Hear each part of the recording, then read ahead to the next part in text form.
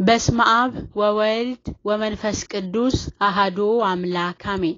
ሰላም ለእናንተ ይሁን ውድ አድማጮቻችን፣ እንደምን ሰነበታችሁ?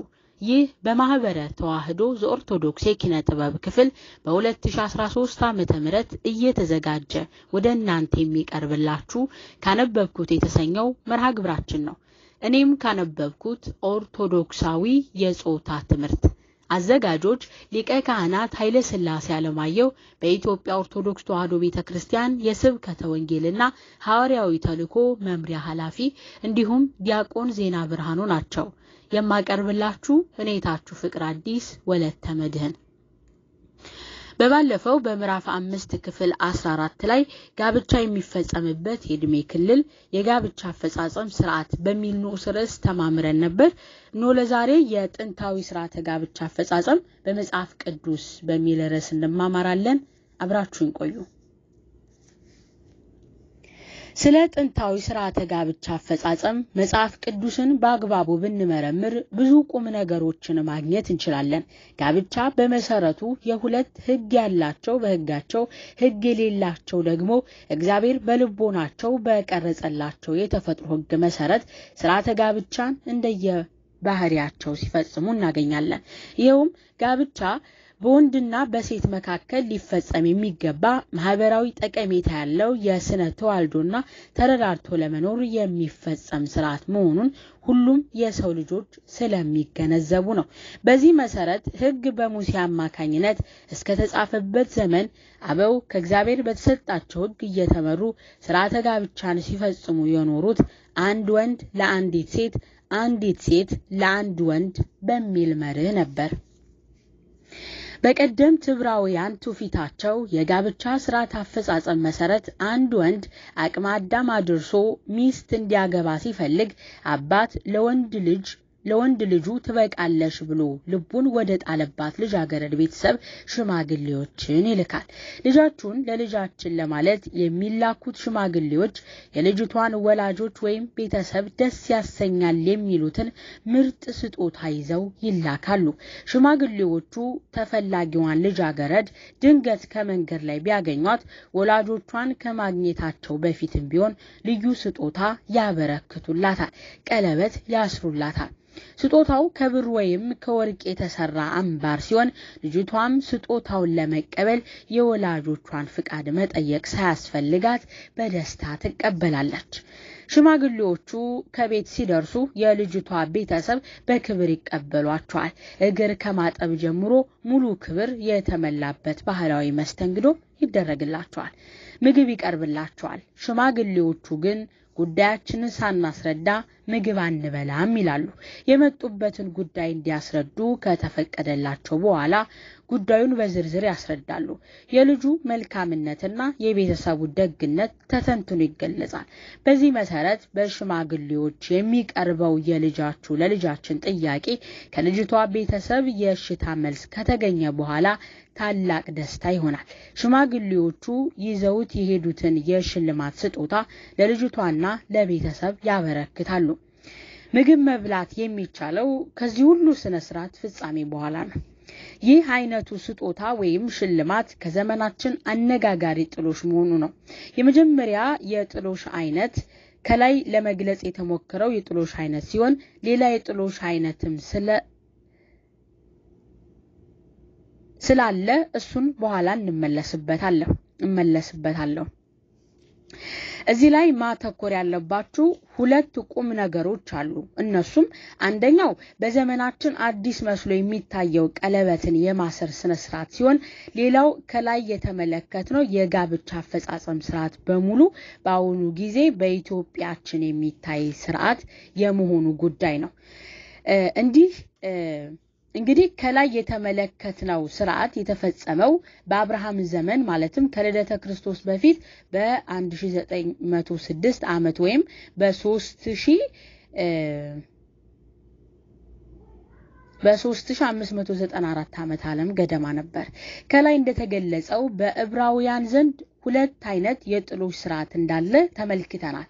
እንግዲህ አንደኛውን የጥሎሽ አይነት ከላይ እንደተመለከትነው ሲሆን ሁለተኛው አይነት የጥሎሽ ስርዓት ደግሞ እንደሚከተለው ነው። ሁለተኛው የጥሎሽ አይነት አብርሃም ያበረከተውን የመሰለ የጥሎሽ አይነት ማበርከት ያልተቻለ እንደሆነ የሚበረከት የጥሎሽ አይነት ነው። ይኸውም ጥሎሽም በጉልበት አገልግሎት የሚፈጸም ጥሎሽ ነው። የጉልበት አገልግሎት ጥሎሽ በአብዛኛው ጊዜ በሰባት ዓመት አገልግሎት የተተመነ ነበር። እንደዚህ ማለትም አንዷን ልጃገረድ ለማግባት የፈለገ ወጣት ለጥሎሽ የሚከፍለው ሀብት ንብረት ባይኖረው ጉልበቱን ለልጅቱ አባት እንዲገብር ይጠይቃል። አባትየው ሲፈቅድም ቀለቡንና የዓመት ልብሱን የልጅቱ አባት ችሎ ሰባት ዓመት በነፃ ይገዛውና የሰባት ዓመት አገልግሎቱ ስለ ጥሎሽ ታስቦለት ልጅቷን ያገባል። ይሁን እንጂ ያዕቆብ ራሔልን ለማግኘት ያበረከተው የጉልበት አገልግሎት ግን አስራ አራት ዓመት ነበር። ይህ አይነቱ የጥሎሽ አገልግሎት በወቅቱ ይሰራበት ከነበረው ልማዳዊ ስርዓት አፈንግጦ የወጣ መስሎ ቢታይም በሌላ በኩል ግን እንዲህ ሊሆን የቻለበት ምክንያት የራሱ የሆነ ችግር ስለነበረው ነው። ዘፍጥረት ምዕራፍ 29 ከቁጥር 15 እስከ 30 ጋብቻ የሚፈጸመው በወላጆች ፍቃድ ነበር ይባል እንጂ የወላጆች ፍቃድ ፍጻሜ የሚያገኘው ግን ልጅቷ ስለ ጋብቻው ፍቃደኛ መሆን አለመሆኗን ተጠይቃ በምትሰጠው ቃል ነው። በሁለቱም ወገን ስምረት ያገኘ የመተጫጨት ጊዜ ሲያበቃ ጋብቻ የሚፈጸምበት ምዕራፍ ይጀመራል። ልጅቷ ሙሽሪት የሚል ስያሜ ተሰጥቷት ወደ እጮኛዋ ቤተሰብ ቤት ትወሰዳለች። ሙሽሪት ተወልዳ ያደገችበትን ቀዬ ወይም አካባቢ ለቃ ለመሄድ ስትሰናበት አንቺ እህታችን ወይም ልጃችን እልፍ አእላፍ ሁኚ፣ ዘርሽም የጠላቶችን ደጅ ይውረስ በሚል የቤተሰብ ምርቃት ትሸኛለች። ሙሽሪት ወደ አማቷ ወይም ወደ ሙሽራው ወላጆች ቤት የምትገባው አይነ ርግቧን አጥልቃ ክንብንቧን አሳምራ ነው።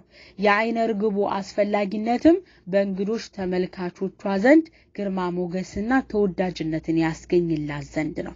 ዘፍጥረት ምዕራፍ 24 እንዲሁም ዘጸአት ምዕራፍ 22 ከቁጥር 16። ሙሽራውና ሙሽሪት ጋብቻውን የሚፈጽሙት በሞቀና በደመቀ ስነ ስርዓት ነው። በአክሊል በመጎናጸፊያና በልዩ ልዩ ጌጣጌጥ ደምቀው ተሸልመውና ተውበው ይዳራሉ። የተጣራ ቀጭን የተልባ እግር ልብስ በዋናነት የነገስታትና የንግስታት የክብር ልብስ እንደነበረ ቢታወቅም የጊዜው ንግስትና ንጉስ የሚል የክብር ቅጽል የተሰጣቸው ሙሽሪትና ሙሽራም በዚሁ ይጌጣሉ፣ ይዋባሉ። ከዘይት በሚሰራ ቀንዲል ወይም መብራት ይታጀባሉ። ኢሳይያስ ምዕራፍ 81 ከቁጥር 10 እንዲሁም 39 ከቁጥር 18 መኃሌ መኃልየ ዘሰሎሞን ምዕራፍ 3 ከቁጥር 11 መዝሙረ ዳዊት መዝሙር 34 ቁጥር 35 ራእይ 19 ምዕራፍ 7 እስከ 8 እንዲሁም ራእይ ምዕራፍ 21 ከቁጥር 2 የማቴዎስ ወንጌል ምዕራፍ 25 ከቁጥር 1 እስከ 13 ይመልከቱ። በጥንቱ የእስራኤል የጋብቻ ስርዓት ውስጥ ጎልቶ የሚታወቀው ነገር እስራኤላውያን ከአህዛብ ጋር ጋብቻን አለመፈጸማቸው ነው። ይኸውም አብርሃም ለይስሐቅ ሚስት እንዲያጭለት ሎሌውን ወደ ትውልድ ሀገር ልኮ ይስሐቅ ርብቃን በማግባቱ ይታወቃል። ኦሪት በተሰራች ጊዜም እስራኤል በዙሪያቸው ከሚገኙ አህዛብ ጋር እንዳይጋቡ አምላክህ እግዚአብሔር ልትወርሳት ወደምትገባበት ምድር በወጣህ ጊዜ ከፊትም ብዙ አህዛብን ካንተ የበለጡትን የበረቱትንም ሰባቱን አህዛብ ኬጢያዊውን፣ ጌርጌሳዊውን፣ አሞራዊውንም፣ ከነአናዊውንም፣ ፌርዛዊውንም፣ ኤዊያዊንም ኢያቡሳዊንም ባወጣ ጊዜ ከእነሱም ጋር ቃል ኪዳን አታድርግ፣ ከእነሱ ጋርም አትጋባ። ሴት ልጅህ ለወንድ ልጅ አትስጠት አትስጥ፣ ሴት ልጅንም ለወንድ ልጅህ አትውሰድ። እኔን እንዳይከተለኝ ሌሎችንም አማልክት እንዲያመልኩ ልጅህን ያስታልና የምትል ሕግ ተሰርታለች። ዘዳግም ምዕራፍ 7 ከቁጥር 1 እስከ 5። ይህች ሕግ እስከ ቅድመ ክርስቶስ 535 ዓመት ድረስ የጸናች ብትሆንም ከዚያ ወዲህ ግን እስራኤል ከአሕዛብ ጋር ይጋባሉ። ነህምያ ምዕራፍ 13 ከቁጥር 1 እስከ 25። በሌላ በኩል ደግሞ አታመንዝር የሚለው ሕግ እግዚአብሔር በመጽሐፍ በጽሁፍ በተገለጠ ጊዜ ከተራው ሕዝብ እስከ ነገስታቱ ድረስ አካሄዳቸው የተገላቢጦሽ ሆኖ አስቸግሮ ነበር። ልዩ ክብር የተሰጣቸው የነበሩ የእስራኤል መሪዎች ብዙ ሚስቶችንና ቁባቶችን መሰብሰብን እንደ ጀብድ ስለቆጠሩት አመንዝራነትን ከእነርሱ ጋር አብረው አነገሱት። አንደኛ ሳሙኤል ምዕራፍ 52 እንዲሁም ሁለተኛ ሳሙኤል ምዕራፍ 5 ከቁጥር 13 እስከ 12፣ ሁለተኛ ዜና መዋዕል ምዕራፍ 11 ከቁጥር 21 እንዲሁም ሁለተኛ ዜና መዋዕል ምዕራፍ 13 ከቁጥር 21። እንዲህ አይነቱ ስርዓተ ጋብቻም እግዚአብሔርን ሲያስቀይም፣ ሰውን ሲጎዳ፣ ሰውን በእግዚአብሔር ዘንድ ተወቃሽና ተከሳሽ ሲያደርግ ዘመናት ተቆጠሩ።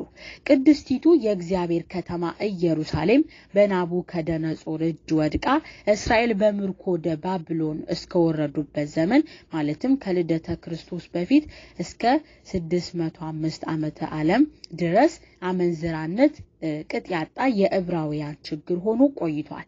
የባቢሎኑ የእስራኤል የባርነት ዘመን አክትሞ ታላቋ ባቢሎን በፈንታዋ በአሱራውያን እጅ በመውደቋ ከልደተ ክርስቶስ በፊት በ535 ዓመት ገደማ ዕብራውያን ወደ አገራቸው ከተመለሱ በኋላ የነበረው የጋብቻ አፈጻጸም የራሱ የሆነ ሌላ ችግር ይዞ መጣ።